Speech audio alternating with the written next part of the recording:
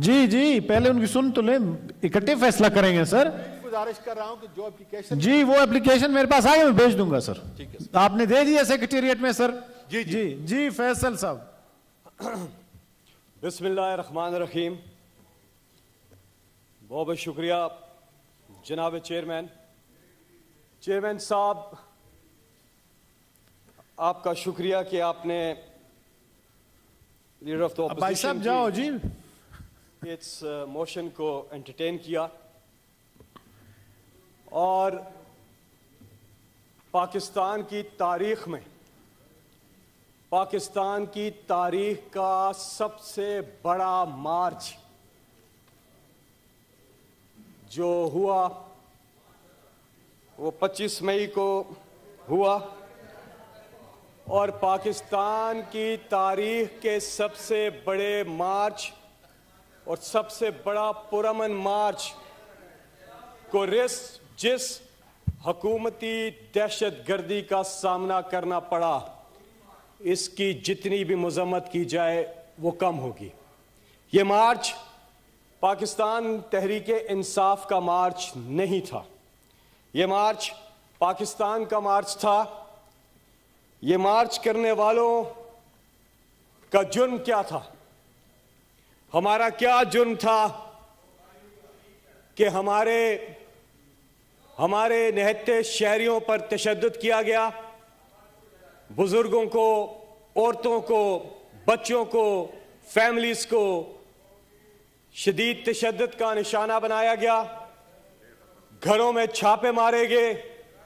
चादर और चार दीवारी के तकदस को पामाल किया गया। हमारे नहते शहरियों के साथ जो सलूक किया गया इसकी पाकिस्तान में तारीख में कोई मिसाल नहीं मिलती।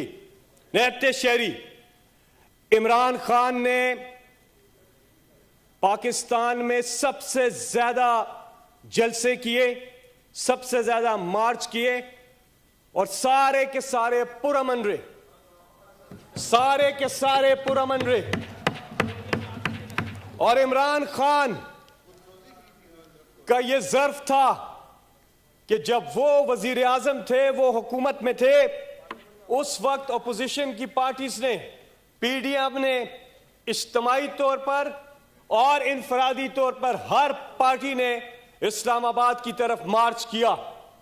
किसी एक को गिरफ़्तार नहीं किया गया, कहीं एक रुकावट नहीं खड़ी की गई, किसी एक को तशद का निशाना नहीं बनाया गया, पुलिस के ज़रिए हरासा नहीं किया गया।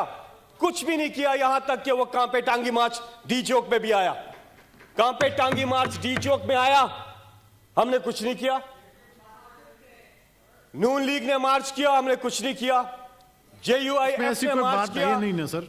इमरान खान ने कुछ नहीं किया। क्यों? क्योंकि इमरान खान को इनसे कोई घबराहट या कोई बौखलाहट नहीं थी।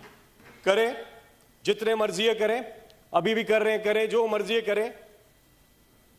लोग अवाम, ये पूरी कौम इस वक्त पाकिस्तान के साथ, इमरान खान के साथ खड़ी है। और इनकी इन हरकतों की वजह से, इनकी इन हरकतों की वजह से इनकी बौखलाहट सबके सामने आया हो चुकी है। इन्होंने जितनी कंटेनर्स लगाए, रास्ते बंद किए, लोगों को हरासा किया, छापे मारे आँसू गैस की, यहाँ तक के फायरिंग की, हमारे लोगों को शहीद किया, हमारे पाकिस्तान के नैते शहरियों को इन्होंने जख्मी किया, शहीद किया। लेकिन ये कौम ये कौम ये कौम जाग चुकी है। उस कौम ने फिर भी डट के मुकाबला किया। आँसू गैस होती थी, वापस जाते थे, फिर दोबारा आ जाते थे। ये कौम जाग चुकी है। इस कौम ने गुलामी को मुस्तरद कर दिया है। आप हमारा जुर्म बताए इस हाउस के मेंबर्स के ऊपर। मेरे समेत पर्चे हुए हुए जगह जगह इन्होंने थानों में पर्चे करवाए हुए हैं। चेयरमैन साहब, ये आपके इस्तकाक भी मजरू हो रहा है। पहले हमारे एक सेनेटर की गिरफ्तारी हुई, जबकि सुप्रीम कोर्ट ऑफ़ पाकिस्तान ने क्लियरली ऑर्डर्स दिए हुए हैं कि तोहिन अदालत की भी मुर्तकब हो रहे हैं। आपका इस्तकाक भी मजरू कर रहे हैं कि उसमें क्लियरली लिखा हुआ उस ऑर्डर में कि चेयरमैन, सेनेट और स्पीकर का क्या किरदार है इसके अंदर? इजाज़त लेके। लेकिन उसके ऑर्डर के आने के बावजूद, ना सिर्फ़ सेनेटर्स ना सिर्फ़ एम एन एज ना सिर्फ़ कोई अहदेदारान बल्कि आम जो सिंपथाइजर्स हैं, जो वर्कर्स हैं, जो पाकिस्तानी आम शहरी हैं, उनके लिए भी सुप्रीम कोर्ट ऑफ़ पाकिस्तान ने हुक्म दिया हुआ है। लेकिन उस हुक्मनामे के आने के बाद भी आज भी हमें बताया जा रहा है कि लोगों के घरों के अंदर पुलिस छापे मार रही है। क्यों? क्यों छापे मार रही है? क्या जुर्म किया इन्होंने? जुर्म करने वाले क्राइम मिनिस्टर बने हुए हैं मकसूद चपरासी और वो सारे केसेस. वो बड़े बड़े उदों पे बैठे हुए हैं। और आम शहरी जिन्होंने कोई जुर्म नहीं किया क्या उनका जुर्म यह है कि उन्होंने नाराए तकबीर की, सदा बुलंद की है? ये जुर्म है उनका। क्या उनका जुर्म ये है कि उन्होंने पाकिस्तान की खुददारी की बात की है? क्या उनका जुर्म ये है कि उन्होंने गुलामी को मुस्तरद किया है? क्या उनका जुर्म ये है कि उन्होंने हमारे साथ, उनकी पुकार के साथ इमरान खान ने आवाज़ उठाई है? हाँ? क्या उनका जुर्म यह है कि वो पाकिस्तान में फिल फोर, साफ़ और शफाफ इलेक्शन का मुतालबा लेकर निकले आप चेयरमैन साहब बताएँ, आप बताएँ दुनिया में किस जमहूरियत में हक नहीं है आम शहरियों का कि वो प्रोटेस्ट करें पुरमन इराक वॉर के खिलाफ 20 लाख लोग निकले, उन्होंने अपनी प्रोटेस्ट रजिस्टर की। यहाँ पर अगर कौम एक मुतालबा कर रही है, एहतजाज कर रही है कि पाकिस्तान में फिर फॉर इलेक्शन करवाएँ। उस रास्ते से अगर आप आ सकते हैं अगर आप समझते हैं कि अवाम में आप मकबूल हैं तो आए मैदान में मुकाबला करें। उस रास्ते से आप आए हम आपको कबूल करेंगे। हम आपकी हुकूमत को कबूल करेंगे। लेकिन जिस रास्ते से आप आए जिस रास्ते से जिस साजिश से ये इंपोर्टेड हुकूमत आई है इसको अवाम ने मुस्तरद कर दिया है। ये इंपोर्टेड हुकूमत किसी सूरत हमें कबूल नहीं है। अवाम को Thank you, कबूल नहीं है। और मैं चैलेंज करता हूँ उनको। आप आप रेफरेंडम कराएँ। अवाम से पूछे वो इलेक्शन फौरी चाहते हैं कि नहीं? रेफरेंडम करा ले। पता चलेगा इन्हें कि पाकिस्तान की अवाम की अक्सरियत इस वक्त पाकिस्तान में फौरी तौर पर इलेक्शन चाहती है। पाकिस्तान ने thank you sir Imran Khan साहब का ये पाकिस्तान मार्च आज़ादी मार्च। ये पाकिस्तानी कौम ने साबित कर दिया। प्लीज़ ये पाकिस्तानी कौम ने साबित कर दिया कि ये इतनी बड़ी कामयाबी हासिल हुई है पाकिस्तान को कि जो इन्होंने कोशिश भी की हरबे भी इस्तेमाल किए, लेकिन फिर भी लोग डट के खड़े रहे और खड़े हैं। ये तो सिर्फ़ एक ट्रेलर था। दो दिन बाकी रह गए हैं, दो दिन। दो दिन बाकी रह गए इमरान खान साहब ने, कि आए इलेक्शन अनाउंस करें। वरना अभी फ़िल्म चलनी बाकी है ट्रेलर के बाद। और उसकी भरपूर तैयारी है, इंशाल्लाह। दो दिन के बाद इमरान खान तारीख देंगे और आप देखेंगे चेयरमैन साहब। लेकिन तमाम निगाहें तमाम निगाहें सुप्रीम कोर्ट ऑफ़ पाकिस्तान पर हैं। हमारा ये राइट है, पाकिस्तानी शहरियों का ये राइट है कि वो पुरमन एहतजाज करें। हम सुप्रीम कोर्ट की तरफ़ देख रहे हैं और हम इस बार सुप्रीम कोर्ट से सुप्रीम कोर्ट से प्रोटेक्शन लेकर हमारा जो कानूनी आईनी हक है हम उसका इस्तेमाल करेंगे और आप देखेंगे कि ये जो आज़ादी मार्च होगा ये जो आज़ादी मार्च अब आने वाला है थैंक यू ये आज़ादी मार्च तमाम आपके साथियों ने बात करनी सर, टाइम का आपने मैं वाइंड अप कर रहा हूँ मैं वाइंड अप कर रहा हूँ। ये आज़ादी मार्च आने वाला तमाम रिकॉर्ड तोड़ देगा। अलामा इकबाल ने कहा अलामा इकबाल ने जो बात की वो मैं सामने रखता हूँ। इस इंपोर्टेड और ये जो मसलत की गई हकूमत एक साजिश के ज़रिए पाकिस्तानी कौम पर पाकिस्तानी कौम ने बेदारी इख्तियार की है। पाकिस्तानी कौम ने खुद ही इख्तियार की है।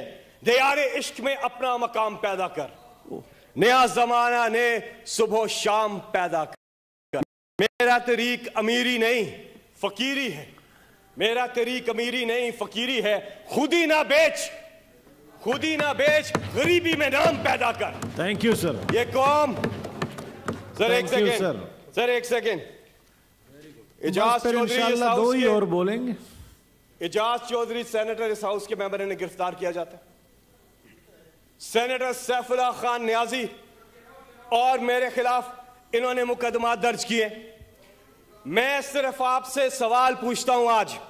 मैं आपसे सवाल पूछता हूँ। इमरान खान समेत इन्होंने तमाम हमारे बाकी जो मेंबर पार्लियामेंट रहे हैं, बाकी हमारे अहदेदारान, आम शहरी, सबके खिलाफ इन्होंने मुकदमा दर्ज किए हैं। क्या ये जंगल का कानून है यहाँ पे? आप इस मुल्क को बनाना, रिपब्लिक बनाना चाहते हैं? आपको शर्म आनी चाहिए। अगर आप जमहूरी हैं तो जमहूरी रवैया अख्तियार करें। थैंक यू सर जो इन्होंने रवैये अख्तियार किए हुए हैं थैंक यू सर अव्वल तो नहीं नहीं मैं वाइंड अप करूँगा सर मैं वाइंड अप करूँगा। टाइम नहीं है। मुझे सर आप है। अपने साथियों का टाइम ठीक है आपके और एक बंदा बोलेगा फिर इसलिए मेहरबानी करें अभी मैं उधर ही जा रहा हूँ सर मैं उधर ही जा रहा हूँ।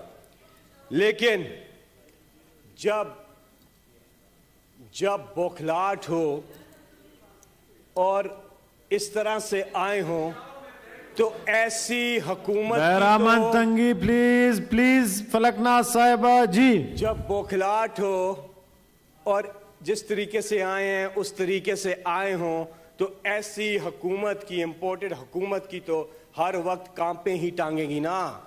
हर वक्त कांपे ही टांगेंगी।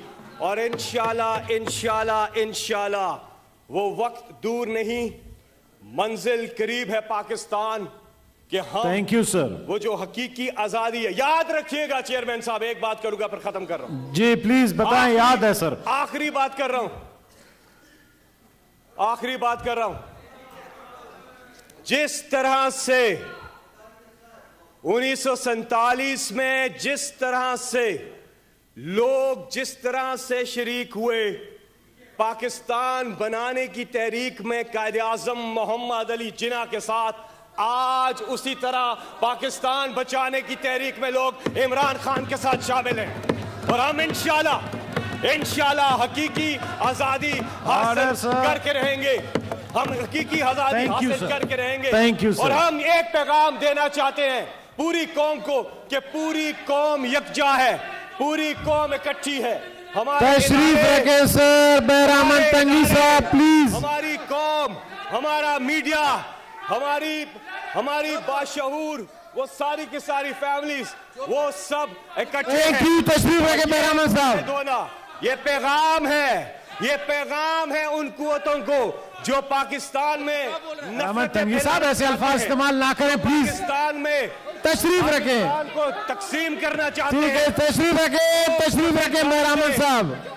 जी। वो कुतें जान ले कि Thank you, sir. Pakistan Thank के you, sir. तमाम इदारे पाकिस्तान की फौज पाकिस्तान की अवाम thank you sir thank you sir वतन सारे पाकिस्तानी सब यकजा है और इंशाल्लाह हम इस मुल्क से करप्शन का खात्मा करेंगे। हम इस मुल्क से thank you sir thank you sir thank you sir honourable senator Shibli Faraz साहब।